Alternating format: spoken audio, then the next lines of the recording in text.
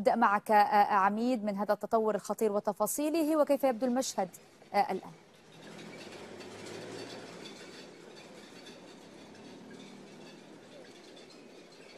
المشهد الآن أن المواطنون في مخيم جنين يعيشون حالة تأهب والمقاتلون كذلك حالة تأهب وانتظار لما يمكن أن ينتج عن ردود فعل من جيش الاحتلال الإسرائيلي وعادة ما تكون ردود فعل انتقامية تجاه مخيم جنين والأهالي في هذا المخيم. ما حصل أن قوات خاصة إسرائيلية وصلت عند ساعات منتصف الليل إلى أطراف مخيم جنين واعتقلت ثمانية مواطنين من بينهم قيادات سياسية في مخيم جنين. بعد ذلك تبعتها تعزيزات عسكرية إسرائيلية كبيرة خرجت من حاجز الجلمة باتجاه سهل مرج بن عامر شمال مدينة جنين وهناك حصلت العملية.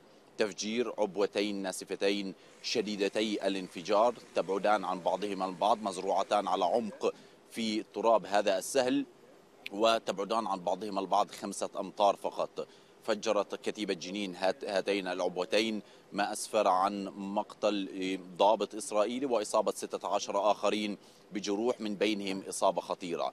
هذه العملية يفسر أهالي مخيم جنين والمقاتلين في مخيم جنين أنها عطلت اقتحاما واسعا لمخيم جنين لأن من قتل في هذه العملية هو قائد فرق القناصة وربما من أصيبوا كذلك هم من فرق القناصة. لذلك يمكن القول أن الاقتحام الذي نفذ بالأمس لمدينة جنين ومخيمها ولأول مرة لا يكون هناك إصابات سوى إصابة واحدة بشظايا الرصاص لأن جيش الاحتلال الإسرائيلي لم ينشر القناصة على أسطح البنايات العالية كما يفعل في كل اقتحام وفي كل اقتحام يسقط عدد كبير من الشهداء في هذا المخيم إلا أن الأمر خلال ساعات الفجر كان مختلفا بعد تفجير هذه العبوات الناسفة بآلية عسكرية إسرائيلية وقتل وإصابة من فيها هذا العدد الأكبر من المصابين منذ 20 عاما في عملية واحدة تنفذها المقاومة الفلسطينية في مخيم نعم. جنين ويشهد المخيم الآن حالة من التأهب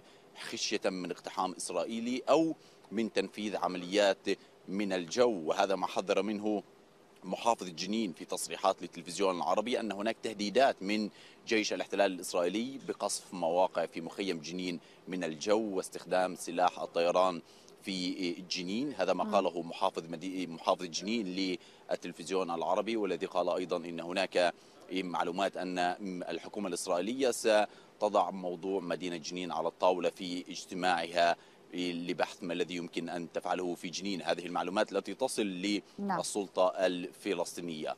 حالة من الانتظار حالة من الترقب نعم. وقناعة لدى الناس هنا أن جيش الاحتلال الإسرائيلي سينفذ انتقاما بعد هذه